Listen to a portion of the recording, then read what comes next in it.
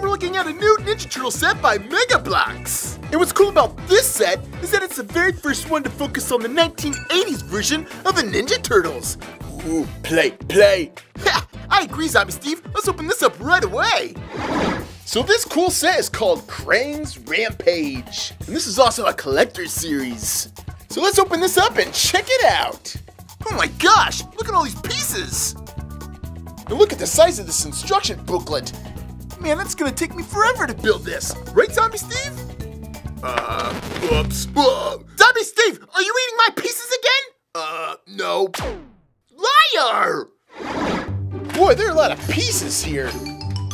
well, it's a good thing I'm a master builder. I'll have this thing done in 15 minutes. And there we are, step 85 completed. Ugh, my goodness, that took forever, right, Zombie Steve? Yep.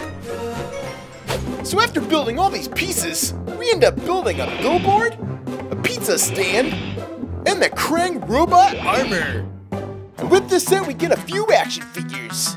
First, we get Leonardo. Leonardo? Leonardo? Well, these action figures come with some really cool bases, which are manhole covers from the cartoon. First, we have Leonardo and Raphael. Put them together, and they can go get a slice of pizza at the pizza stand. All right, guys, how many slices of pizza you need? Just look at all the detail. Movable umbrella stand, a pizza box, and doors that open and close. Also, Krang's body is superposable. His arms move, his legs move, and even his head moves. Oh man! And the last figure we get is Krang himself.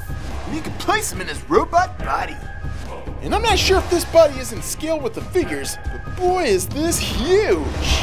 Destroy those turtles! Whoa! That is one big figure! Big.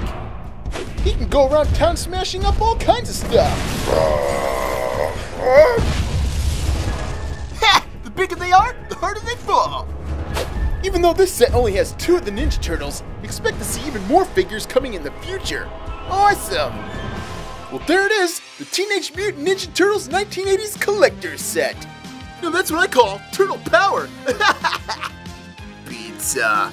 Hey, that's a good idea, Zombie Steve. This review has made me hungry for some pizza. Let's go.